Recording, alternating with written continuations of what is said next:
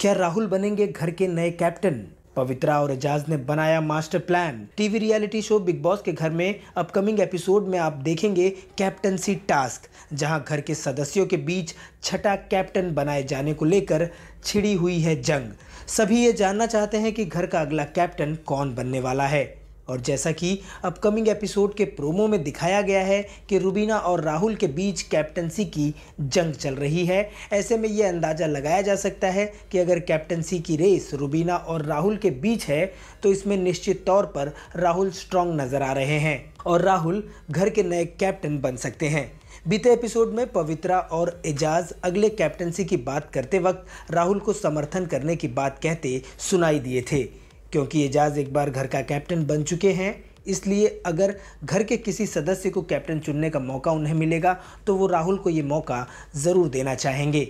वहीं पवित्रा ये कहती सुनाई दी कि मैं भी कैप्टन बनना चाहती हूँ, लेकिन अगर मेरे चांस कम हुए तो मैं राहुल को ये मौका ज़रूर दूँगी। वहीं दूसरी तरफ़ अली कैप्टन बन चुके हैं और राहुल के अच्छे दोस्त हैं, इसलिए अली भी राहुल का समर्थन कर सकते हैं, क्योंकि जब अली कैप्टन बनने वाले थे तो राहुल ने उनकी काफ़ी मदद की थी और अली ने उन्हें भरोसा दिया था कि अगली कैप्टनसी में वो राहुल का समर्थन करेंगे। वहीं निकी का समर्थन भी राहुल को प्राप्त है, क्योंकि बीते एपिसोड में दोनों के बीच अच्छी बॉन्डिंग बनती दिखाई दी थी।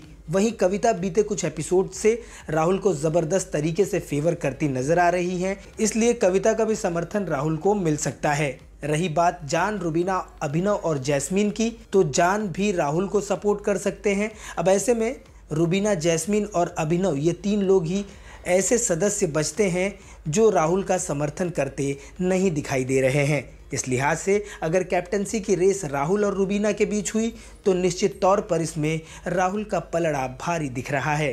ये कहना अतिशयोक्ति नहीं होगी। बिग बॉस से जुड़ी इसी तरह की खबरें लगातार पाने के लिए आप जुड़े रहिए हमारे चैनल से और अपनी प्रतिक्रिया कमेंट के ज़रिए हम तक ज़रूर पहुँचाएँ।